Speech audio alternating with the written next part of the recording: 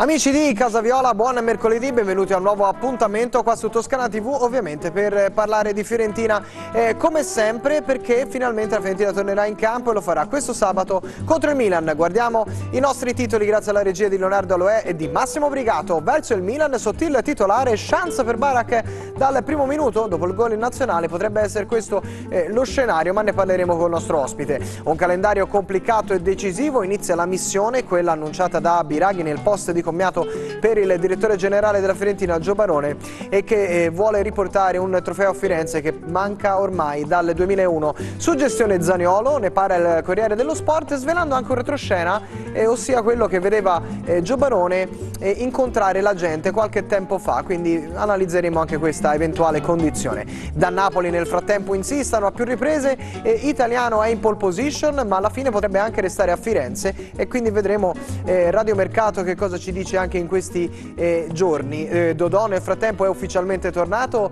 un piacevole problema, quello dell'abbondanza sul terzino destro eh, che eh, la Fiorentina schiererà in campo. Di tutto questo parleremo con Giacomo Guerrini. Ciao Giacomo, buonasera, grazie di essere con noi. Ciao a tutti, buonasera. Finalmente si torna in campo nel sabato pasquale alle ore 20.45 contro il Milan, ovviamente dalle 20.15 eh, qua su Toscana TV con la tua conduzione e ci sono le prime indicazioni di formazione con Sottile che dovrebbe essere titolare sul, eh, sull'out di sinistra in attacco mentre c'è il ballottaggio aperto sulla tre quarti, ricordando la squalifica per Jack Bonaventura, tra Barak e Beltran con l'argentino che potrebbe anche giocare eh, prima punta con Belotti in panchina. Tu come la vedi? Ma io penso che Belotti giocherà perché pur non avendo, pur avendo fatto solo un gol, comunque con Belotti in attacco è cambiato il gioco, è cambiato il gioco della Fiorentina e mm, quindi a mio avviso giocherà Belotti che tra l'altro non ha avuto impegni con le nazionali.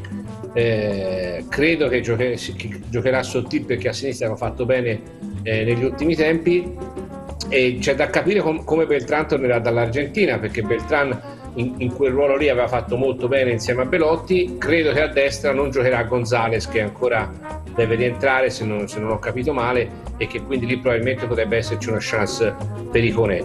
È anche vero che Barak ha fatto molto bene nelle ultime, nelle ultime uscite, e quindi diciamo che pur nelle difficoltà Italiano ha diverse soluzioni. Eh. Secondo me alla fine giocherà Barak al posto di Bonaventura, giocheranno Iconè e Sotti. Vedremo. E e, e Belotti, esatto. Vedremo quello che eh, sceglierà il tecnico Vincenzo Italiano.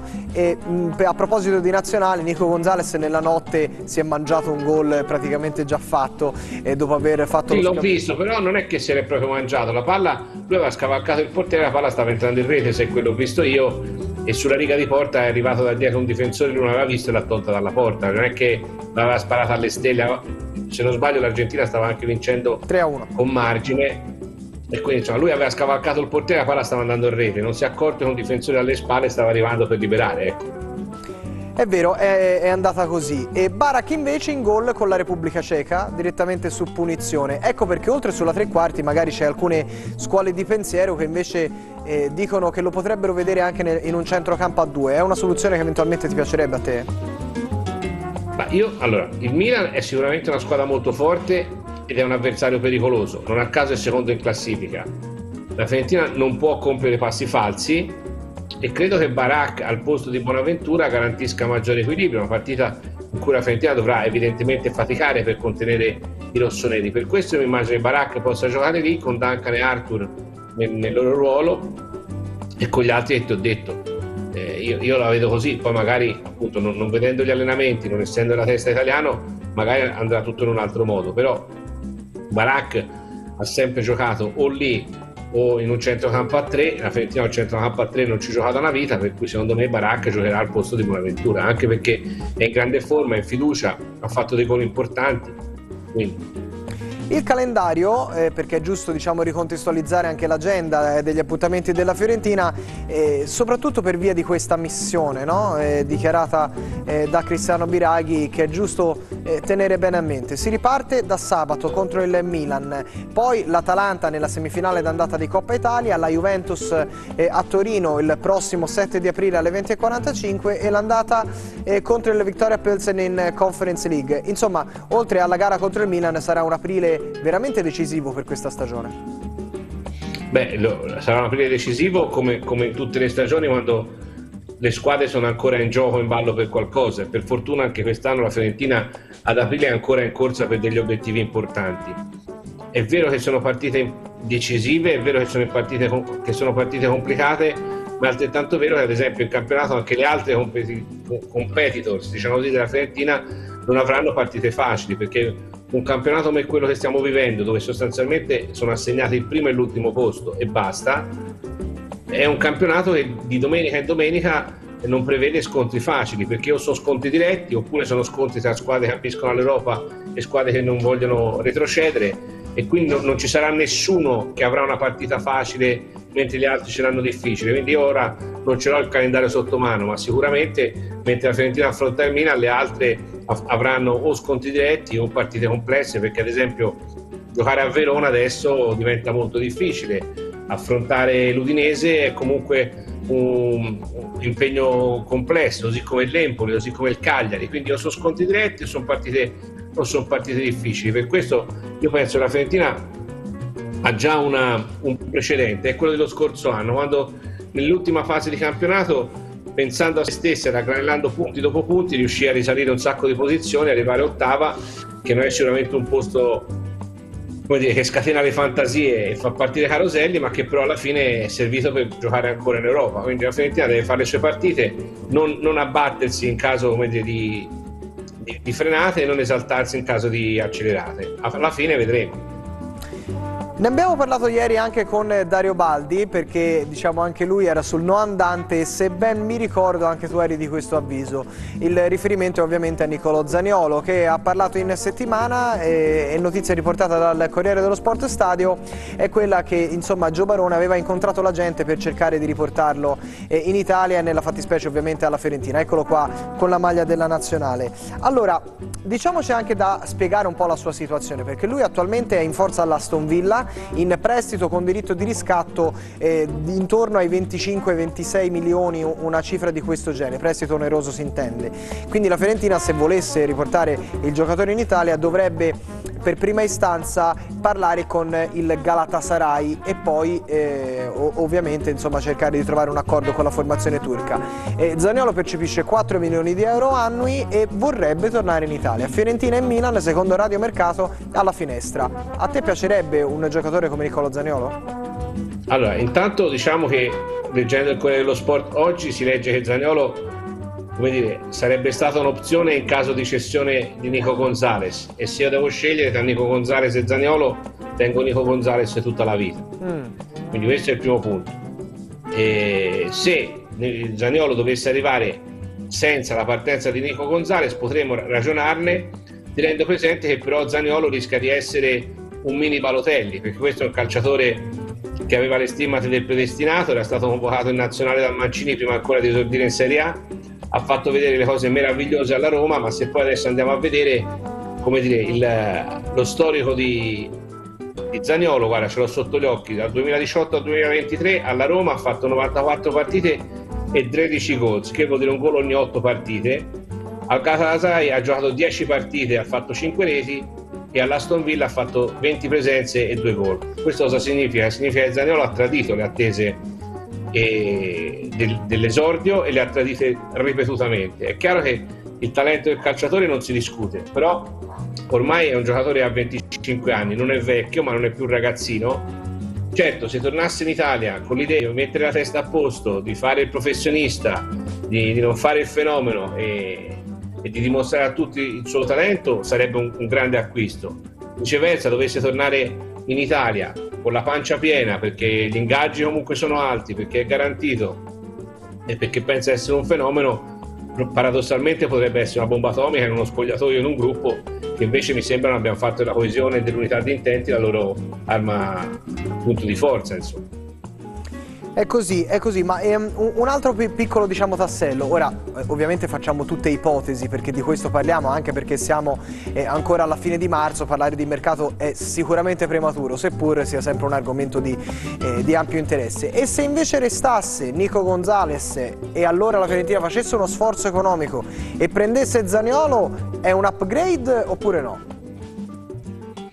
Te l'ho detto, allora intanto bisogna... Allora, così giusto per fare balocchi. Certo. Eh, L'Aston Villa ha il diritto di scatto a 25 milioni, che non eserciterà, il che significa che il valore di Zaniolo è inferiore a 25 milioni. E, e già questo dovrebbe dire qualcosa a Zaniolo, perché te- qualche anno fa Zaniolo sarebbe stato un crack di mercato.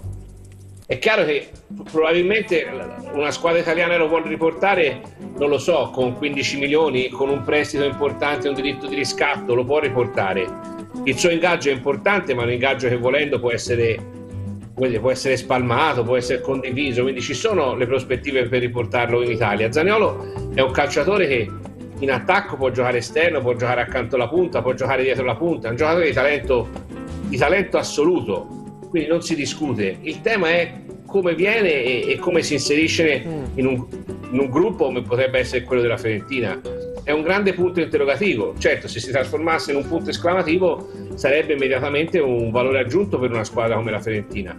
Detto questo, appunto, è molto presto perché c'è da capire chi allenerà la Fiorentina il prossimo anno, quali competizioni farà la Fiorentina il prossimo anno, con quali ambizioni. Però Zaniolo è un giocatore del giro della nazionale, un giocatore giovane, un giocatore forte. Eh, però le perplessità sono di un calciatore che da, da, Roma avrebbe potuto, non ti dico ambire al Real Madrid, ma quasi, e poi si ritrova al Galatasaray, scartato al Galatasaray all'Aston Villa e scartato all'Aston Villa. Insomma, quindi probabilmente qualche problemino c'è. Sicuramente sì. Chiudiamo l'argomento radiomercato passando anche per quello del tecnico che ormai è ricorrente da, da, inizio della stagione e da Napoli sembrano insistere soprattutto le radio locali e anche eh, le cronache di carta stampata. Italiano in pole position per il dopo Ciccio Calzona ma alla fine potrebbe anche restare a Firenze. Lo ha rivelato la Nazione nelle settimane scorse nella persona di Angelo Giorgetti però insomma la sensazione è che anche dopo purtroppo eh, la scomparsa di Gio Barone potrebbe davvero cambiare, cambiare tutto fondamentalmente. Quali sono le tue sensazioni allora, a, Napoli, a Napoli hanno più ragione di parlare di mercato che a Firenze perché la loro stagione è stata ampiamente fallimentare, non sono più in Europa, non sono più in Coppa Italia, devono cercare di, di agganciare un, un, treno per la Champions che per una squadra che porta il tricolore sul petto è un obiettivo minimo ma non è scontato e quindi è chiaro che a Napoli si pensa alla prossima stagione alla rifondazione. Mm. Dopo Garzia, dopo Mazzare, dopo Calzone è chiaro che pensano all'allenatore, allenatore del prossimo anno, si legge di Conte che è, un, profilo completamente diverso da quello di Vincenzo Italiano, sappiamo che Vincenzo Italiano piace molto a De Laurentiis, lo sappiamo perché De Laurentiis aveva detto lo scorso anno che se avesse avuto il via libera da, da commesso avrebbe portato Italiano a Napoli, l'ha detto De Laurentiis, non so se era strategia, però insomma l'ha detto. E quindi è chiaro a Napoli Italiano può piacere, del resto a Firenze ha fatto un buon lavoro. Detto questo, mh, Italiano in questo momento è l'allenatore della Fiorentina che ha un obiettivo, vincere un trofeo. È chiaro che qualora Italiano dovesse vincere un trofeo, che resta a fare alla Fiorentina? Cioè o la Fiorentina fa un passo avanti e costruisce una squadra, non dico per vincere il campionato, ma stare, per stare davvero nelle prime quattro, o Italiano rischia già adesso, come dire, è vittima di qualche mugugno, rischia il prossimo anno di essere portato via. Insomma, potrebbe fare la scelta fatto che ha fatto Palletti a Napoli, vinto il campionato, aveva un presidente che idea la Champions League, sa che a Napoli la Champions League non la vince e viene via da vincitore. Io ho come la sensazione che il ciclo italiano per un verso o per un altro vada a concludersi, o perché lo concluderà con una vittoria o perché lo concluderà con la Fiorentina magari fuori dall'Europa o nuovamente in conference, cioè ha compiuto la sua missione sostanzialmente italiano, ha preso una squadra prostrata, delusa, un ambiente come dire, sui gomiti e ha riportato la Fiorentina per tre anni consecutivi a lottare per l'Europa, l'ha portata per tre anni di fila in semifinale Coppa Italia, un anno ha fatto anche la finale, quest'anno vediamo, ha fatto una finale in Europa, ci ha fatto divertire, abbiamo vinto col Milan, abbiamo vinto con l'Inter, abbiamo vinto con la Roma, abbiamo vinto con la Juve, con la Lazio, con squadre con cui magari non si vinceva da tanto tempo, per cui il suo l'ha fatto. In più c'è un altro, un altro elemento, che mentre lo scorso anno le panchine Serie A erano di granito dalla prima all'ottava posizione, quest'anno cambiano tutte perché Allegri sulla panchina della Juve forse c'è, forse non c'è. Resta Inzaghi all'Inter, Pioli a, Milan traballa. Eh, ora la Roma pare si sia sistemata con De Rossi e la Lazio si sia sistemata con Tudor, a Napoli cambiano. Eh, quindi insomma a Genova sta facendo molto bene Girardino e potrebbe andare, c'è Bologna, insomma, quindi più c'è tutta la rumba del mercato estero. Quindi è esatto. chiaro che in un giro di valzer come questo italiano ci sta bene. C'è da dire che, se non ho capito male, c'è una clausola nel suo contratto che qualora la Fiorentina dovesse qualificarsi per l'Europa League, se non sbaglio, la Fiorentina esatto. può unilateralmente prolungare il contratto di un altro anno italiano, quindi la situazione, per usare un termine che va molto di moda, è fluida, però non mi sembra in questo momento il tema. Ecco, il tema è che una squadra che si è messa appena alle spalle una tragedia e che punta a portare a Firenze, come ricordavi giustamente te, un trofeo che manca da 23 anni. Esatto, è, è così e sarà pur, purtroppo diciamo, il, un tormentone quello di, di, Vincenzo Italiano che andrà, come dicevi te, a comporre un domino che inizierà con, eh, con la fine del, del campionato. Insomma, varie panchine sono in bilico e è coinvolta anche quella della Fiorentina. Torniamo sul campo perché eh, è una bellissima notizia eh, quella di, di Dodò, l'abbiamo diciamo, celebrata con un bel bentornato, l'hai fatto soprattutto tu nella tua trasmissione del lunedì. Eccolo qua, il cartello dedicato al terzino destro brasiliano classe 98 è ufficialmente tornato. E allora vediamo eh, una scheda per contestualizzare anche questo momento perché c'è un piacevole problema, eh, il problema abbondanza. E adesso che succede? Allora intanto eh, Dodò ha giocato 19 minuti contro il Maccabi Haifa e si candida al ballottaggio dunque con Caiode e Faraoni per una maglia da titolare. Il problema d'abbondanza come sarà gestito da Vincenzo Italiano, fermo restando che insomma il terzino destro a Firenze prima mancava da tanti anni e che invece adesso eh, addirittura eh, si ha tre, tre persone per un ruolo solo. Beh, allora, intanto cerchiamo di essere ottimisti. Alla Fiorentina mancano 10 partite di campionato e se dovessero andare bene 5 di conference e 3 di Coppa Italia, sono 18 partite da giocare in poco più di, di due mesi, quindi insomma ci sarà bisogno di tutti per usare una frase fatta. Io non credo che Dodò, eh, mi piacerebbe vederlo giocare dal primo minuto, però un calciatore che è così tanto, da così tanto tempo fuori eh, dal calcio giocato e che ha fatto un quarto d'ora al Maccabi Haifa, secondo me difficilmente partirà titolare una partita difficile come quella con il Milan che succede? Succede che Dodò è il titolare e che, e che gli altri due sono, sono le alternative. Eh, con Faroni che se non sbaglio può giocare anche in altri ruoli, mi pare anche a sinistra, dove però Biraghi mi pare inamovibile. Eh, succede che la Fiorentina recupera quello che è il titolare e che era una delle, delle pedine più forti della, della formazione. Quindi succede è una buona notizia.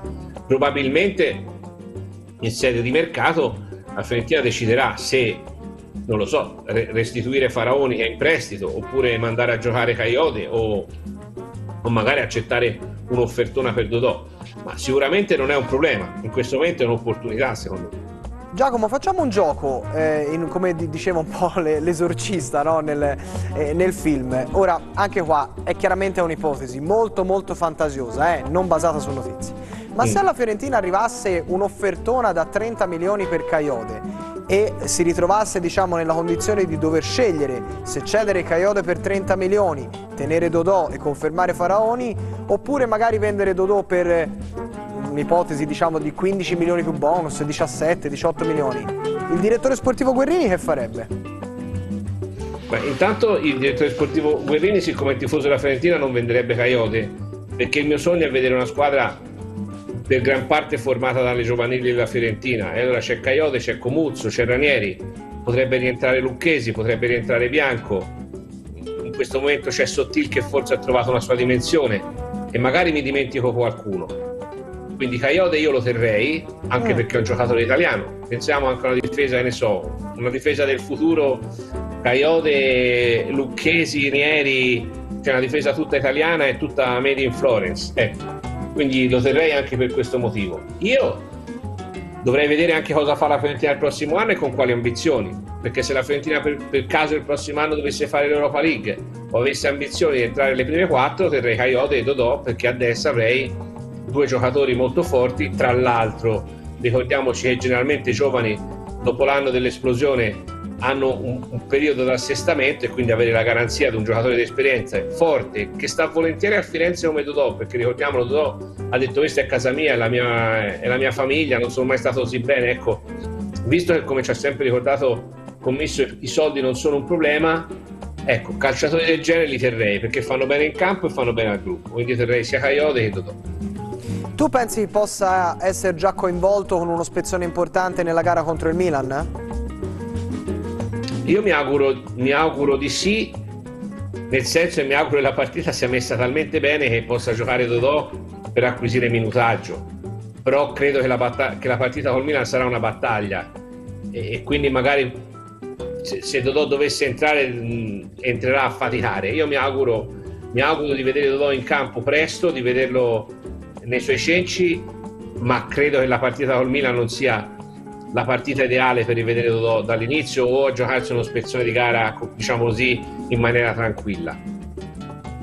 Nel frattempo ti, ehm, ti, faccio vedere anche la designazione arbitrale che è emersa per quanto riguarda Fiorentina-Milan. Arbitrerà il signor Maresca della sezione di Napoli, al VAR ci sarà Di Paolo. Insomma Maresca ha fatto una buona stagione eh, quest'anno ed è un match che viene considerato eh, di cartello. Designazione che ti soddisfa, non ti soddisfa? O... Ma ti, ti, confesso che gli arbitri non li conosco, cioè non, non, li guardo, non li conosco, poi guardo la partita e di volta in volta decido. Io non, non guarda, mi dovessi chiedere una partita arbitrato Maresca non te lo saprei dire, non so se questo è un bene o un male, ma neanche gli altri, eh, sinceramente. Poi quando guardo la partita posso come dire, approvare o non approvare l'arbitraggio. Devo dire, ecco, ne parlavo insomma in questi, in questi giorni con un mio amico, non mi sembra da quando c'è la presidenza commisso la Fiorentina abbia avuto molto da lamentarsi degli arbitraggi. Ecco, sicuramente saranno stati gli arbitraggi che non ci sono piaciuti, però non mi sembra di aver visto cose clamorose contro la Fiorentina negli ultimi tempi, neanche a favore. Eh. Insomma, mi sembra che la Fiorentina mm. abbia avuto arbitraggi so, so, sostanzialmente equanimi. Speriamo che non accada ovviamente contro il Milan. L'unica che viene in mente così a memoria in Conference League il gol di Cabrao, te lo ricorderai che il pallone aveva varcato. Sì, ma lì era, scar- lì era scarsezza dell'arbitro, non non è che c'era cattiveria, no, cioè, abbiamo visto che la prima volta l'arbitro cambiare una decisione del VAR, ecco, però diciamo sostanzialmente non abbiamo visto cose clamorose, abbiamo visto per esempio la partita dello scorso anno la Fiorentina persa a Torino annullare un gol per un centimetro alla Juve, un, un gol che avrebbe chiuso la partita e poi ahimè vedere anche annullare per lo stesso centimetro il gol che avrebbe consentito alla Fiorentina di pareggiare all'ultimo secondo. Per cui insomma diciamo che sostanzialmente ultimamente non, non, non avrei da lamentarmi degli arbitraggi. Da eterno romantico del calcio, se ci fosse una regola eh, del calcio da cambiare, tu quale cambieresti? Le cinque sostituzioni, perché? perché le cinque sostituzioni di fatto hanno cambiato completamente il calcio e hanno favorito ancora di più le grandi squadre che possono permettersi intanto con cinque cambi di, di, di cambiare sostanzialmente mezza squadra e chi ha i soldi e i mezzi può mettere 5 campioni, mentre chi non li ha si deve arrangiare. E poi perché questa cosa qua permette con 16 giocatori che scendono in campo alle grandi squadre che investono su tanti calciatori di non doversi confrontare con quel malumore e quel malcontento che invece tante volte l'ha portate via perché c'erano dei grandi calciatori che non giocavano. Adesso con 5 cambi, bene o male, trovano il modo di far giocare tutti e questo sostanzialmente è, è dire, un, un, ulteriore vantaggio che va a, ad aiutare i più forti. In chiusura voglio eh, coinvolgerti eh, su, sulla notizia di fatto di, di, ieri sulla soluzione del difensore dell'Inter Acerbi che secondo Juan Jesus aveva diciamo, usato un epiteto eh, razzista. Notizia di oggi che il Napoli con rabbia e delusione ha annunciato che eh, sulla toppa della maglia, come ben sai c'è scritto diciamo, il no to racism, cioè ossia no al razzismo, non indosserà eh, la toppa durante la prossima partita di campionato e addirittura Juan Jesus valuta la denuncia penale. E, non lo so, dimmi la tua. Beh, allora, è, una situazione abbastanza, abbastanza strana perché io culturalmente sono un garantista, per cui se non ci sono delle prove e se una persona è condannata per me è innocente. Mm. Quindi evidentemente non c'è un labiale, non ci sono delle immagini che mostrano Acerbi dire quella frase a Juan Jesus. Però il comportamento successivo di Juan Jesus e di Acerbi in campo farebbe pensare che Acerbi avesse detto quelle parole e si fosse immediatamente scusato.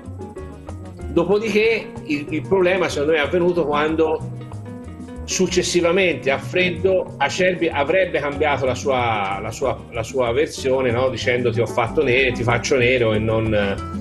Quindi è una situazione molto complessa dove secondo me il calcio non ne esce affatto bene però eh, dire, è, di difficile, di, difficile, di difficile, interpretazione perché non mi sembra che ci siano delle prove che inchiodino Acerbi a me sembra che Acerbi abbia fatto un po' figuruccia perché in campo da quello che ho visto alle immagini si scusa con Van Gesù dicendo guarda gioco anche con compagni di colore quindi non è un problema no? segno evidente che probabilmente ha detto qualcosa sul colore della pelle e poi dopo avrebbe cambiato versione.